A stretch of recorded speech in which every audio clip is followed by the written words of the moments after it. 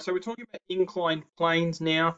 Uh, you've done inclined planes before, so we're going to jump straight into it, not talk too much about it. Let's interpret this question. Um, a body of mass 20 kilograms is placed on a smooth plane inclined at 30 degrees to the horizontal. So I have uh, the floor. I have a smooth plane inclined at 30 degrees to the horizontal. That's 30 degrees there. And I have a body sitting on it. Let's just make it a box and we know that that body is uh, 20 kilos. All right, a string is attached to a point further up the plane, which prevents the body from moving. All right, string. Find the tension in the string, so we need the tension there, and the magnitude of the force exerted on the body by the plane. All right, so you need to draw sort of your uh, force diagram here.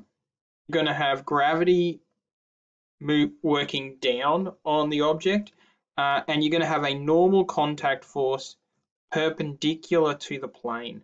And you should remember from last time we did this that a real good idea, a real trick to this, uh, that's bad, try again. A real trick to this is understanding that you're going to be better off if you make your I and J components parallel and perpendicular to the inclined plane itself.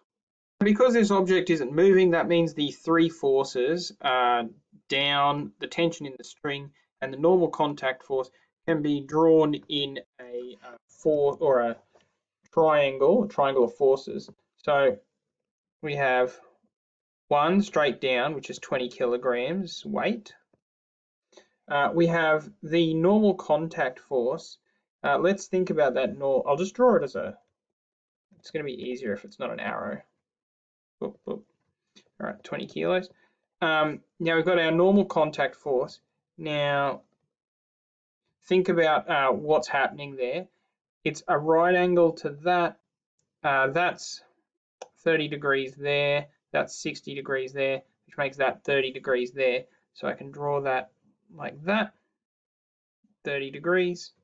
And uh, this angle here and again, think about, so that's, this is the string there. So I'll call that N for the normal contact force, T for the tension in the string.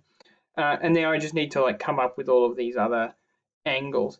So tension in the string, uh, that angle there is going to be 60 degrees. So at 60, 30, so that must be 90 degrees there. All right, so uh, it's pretty straightforward from there because what I have is a, a right angle triangle, you can see that right angle in there. If I want to know this um, weight, I can just do like a trigonometric ratio. If I want to know the normal contact force, I can just do a trigonometric ratio as well. So the tension in the string, uh, it's going to be 20 times sine, which is uh, 20 times 1 half, which is 10 kilograms weight. That's the tension in the string. And we can do a something similar here with the normal contact force. That's going to be 20 uh, times cos 30, uh, which will be uh, root 3 on 2. So 20 times root 3 on 2, which is 10 root 3 kilogram weight. All right, so there's our inclined plane. Really the challenge is in drawing that thing and then moving forward from there.